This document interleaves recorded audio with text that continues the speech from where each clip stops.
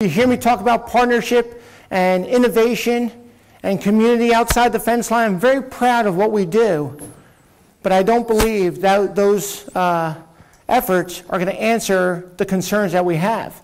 And those concerns are you. What the community can do is be aware of it and recognize that I'm not looking at that operational big picture stuff. I'm looking at you and the impact that's going to have on you.